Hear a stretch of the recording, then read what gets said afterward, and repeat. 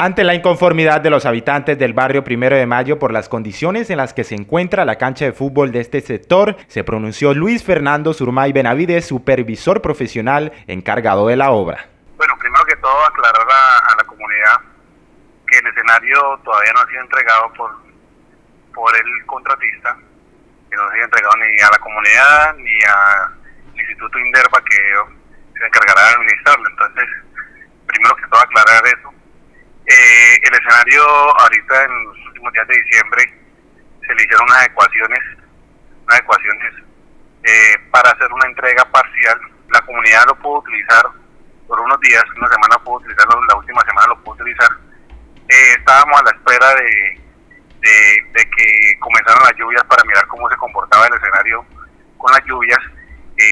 la comunidad al utilizarlo pues tuvo muy buena aceptación. Ahorita que se presentaron las primeras lluvias de, enero, pues evidenciaron unas partes en donde, en donde el material no había sido extendido de la mejor manera. El profesional espera que los trabajos en este escenario sean reactivados la próxima semana, luego de que los trabajadores vuelvan de esta semana de receso en la que se encuentran. Y la idea es reiniciar la otra semana con unos trabajos, con más maquinaria, eh, se, van a, se van a pasar nuevamente los niveles, se, van se va a revisar la parte donde se están formando los, los charcos de agua, que es muy común porque es un, es o sea, es bastante material lo que se aplicó eh, en todo el área de la, de la, de la, de la cancha.